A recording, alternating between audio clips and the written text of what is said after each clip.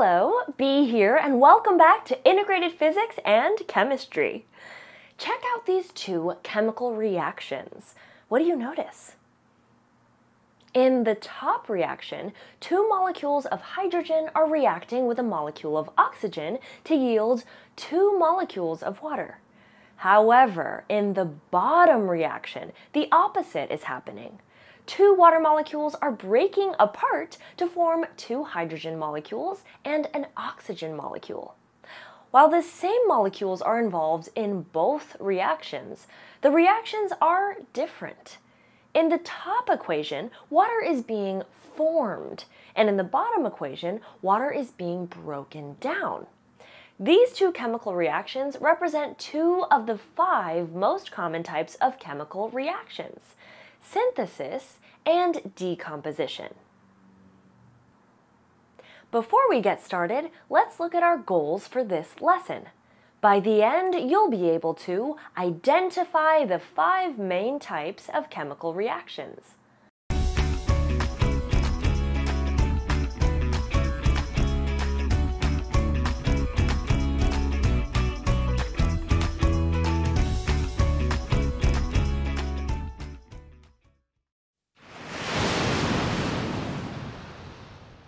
The word synthesize means to combine two or more things together. It is a perfect name for synthesis reactions. In a synthesis reaction, you start with two or more reactants and form one product. Two examples of a synthesis reaction are hydrogen and oxygen forming water, and carbon monoxide and oxygen forming carbon dioxide. Think back to your life science class. Do you remember what a decomposer is? How about what it means for something to decompose? To decompose means to break down. Knowing this, what do you think a decomposition reaction is? A decomposition reaction is when one reactant breaks down into two or more products.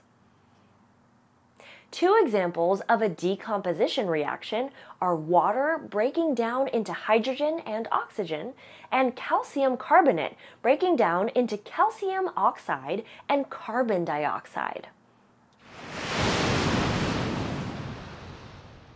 Imagine that you walk to the local park with your friend Jenny.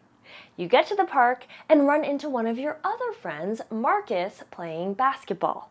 You all hang out for a few minutes, but then when you go to leave for home, you walk home with Marcus, and Jenny stays a little longer at the park.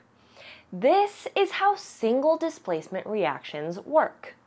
In these reactions, there is an ionic compound made of metals and nonmetals, and it reacts with either a metal element or a nonmetal element. During the reaction, the single element switches places with the same type of element in the ionic compound to form a new ionic compound and separate element. It's important to remember that like replaces like.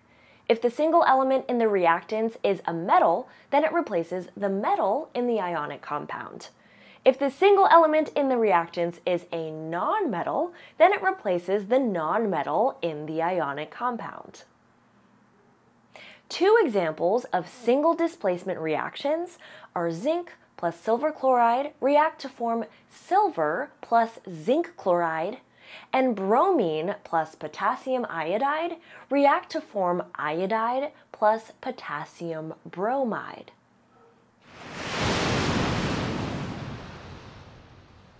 Let's return to our park analogy. What if, instead of Marcus hanging out in the park by himself when you and Jenny arrive, he's playing basketball with Kyle? And when you and Marcus leave to walk home, Kyle and Jenny stay at the park and continue to play basketball. That situation would represent a double displacement reaction. In a double displacement reaction, you usually have two ionic compounds reacting to form two new ionic compounds. The only way for this to happen is if the metals and nonmetals switch partners. Two examples of double displacement reactions are silver nitrate reacting with sodium chloride to form silver chloride and sodium nitrate, and sodium sulfide reacting with calcium chloride to form sodium chloride and calcium sulfide.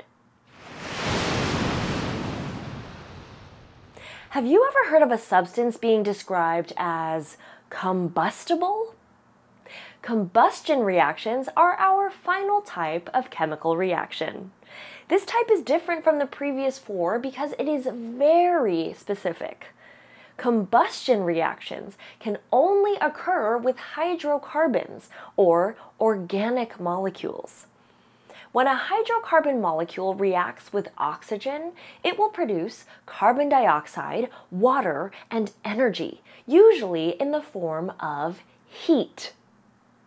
Let's look at an example. Methane gas, CH4, reacts with oxygen gas to form carbon dioxide, water, and energy.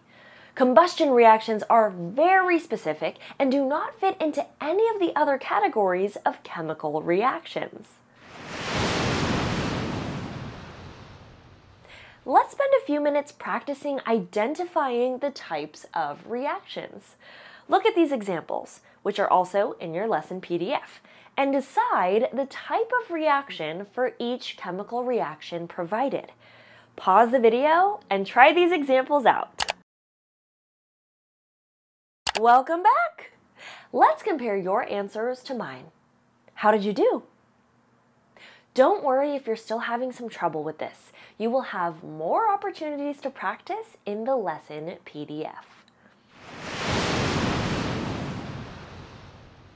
As we went through the lesson today, we identified the five main types of chemical reactions and practiced labeling different reactions as each type. This is a short unit, and our next lesson is the review and assessment lesson on chemical reaction. Until next time, remember, the universe is vast and full of surprises, so never stop exploring. I'll see you next time. Hey, hey.